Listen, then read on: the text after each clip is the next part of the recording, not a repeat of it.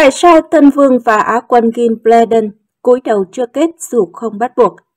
Trở thành những tay vợt hàng đầu ở giải Wimbledon danh giá nhưng cả Carlos Alcaraz lẫn Novak Djokovic vẫn cúi mình trước vương phi xứ Wales.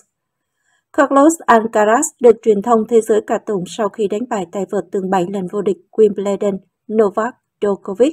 Tuy nhiên, cả Tân Vương lẫn huyền thoại Grand Slam vẫn cúi mình trước vương phi xứ Wales khi nhận cúp trong khi đó, dù ngồi ở hàng ghế đầu của khu vực khán đài VIP, thân vương William lại không được hành lễ như vậy. Hồi đầu tuần, Hoàng hậu Camilla cũng đến xem giải quần vợt nổi tiếng và không nhận được bất kỳ cái cúi đầu nào từ các tay vợt.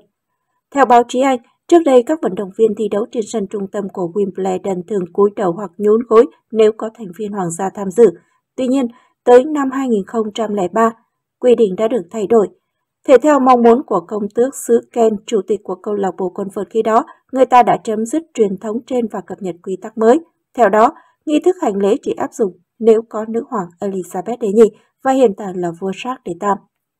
Và mặc dù không phải bắt buộc thực hiện động tác này với kết nhưng cả Djokovic và Alcaraz đều tự nguyện. Cả hai thậm chí còn thực hiện cùng lúc một cách vui vẻ. Đây được cho là hành động thể hiện sự tôn trọng và yêu quý của Tân Vương cùng với Á quân giải Wimbledon 2023 với người bảo trợ của câu lạc bộ quần vợt Old England Kit Middleton.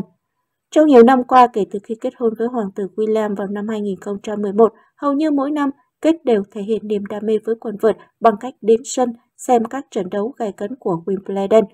Cô được cố nữ hoàng Elizabeth đệ nhị trao lại danh hiệu người bảo trợ năm 2016 kèm nhiều đặc quyền, trong đó có trọng trách trao cúp cho nhà vô địch.